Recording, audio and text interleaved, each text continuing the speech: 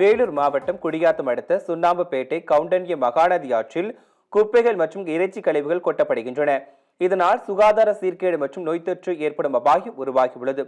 இது தொடர்பாக நமது குடியாத்தம் தொகுதி செய்தியாளர் முன்னா தரும் கூடுதல் தகவல்களை கேட்கலாம்.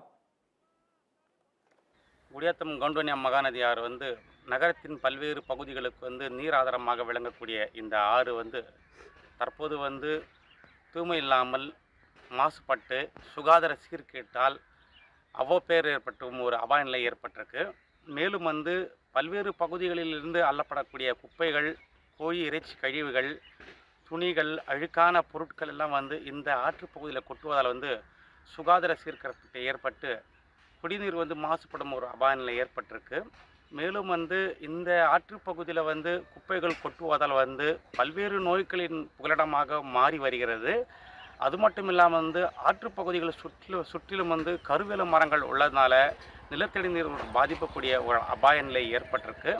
அதே போல் இந்த சுண்ணாம்புப்பேட்டை பகுதி சுற்றியுள்ள ஒரு மிகப்பெரிய சுடுகாடு நகராட்சிக்கு சொந்தமான இடுகாடு இருக்குது இந்த இடுகாடுக்கு வந்து சுற்றுச்சுவர் இல்லாத காரணத்தினால இந்த இடுகாடு பகுதியில் மாலை நேரங்களில் சமூக விரோத செயல்களின் கூடாரமாக மாறி வரக்கூடிய ஒரு அபாய நிலை அவல நிலை ஏற்பட்டிருக்கு. ஆகவே அது போக்கும் வகையில் வந்து சுண்ணாம்புப்பேட்டை பகுதியில் உள்ள இடுகாடு சு கட்ட வேண்டும். அதே போல் கவுண்டன்யா மகாநதி ஆற்றை வந்து தூய்மைப்படுத்த வேண்டும்.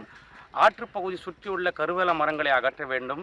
கோழி இறைச்சிகள் குப்பைகள் கொட்டுவதை வந்து சம்பந்தப்பட்ட துறை அதிகாரிகள் கடும் நடவடிக்கை எடுக்க வேண்டும் என்பது பொதுமக்களின் கோரிக்கையாக இருக்குது கேப்டன் நியூஸ் செய்திகளுக்காக குடியாத்தம் செய்தியாளர் முன்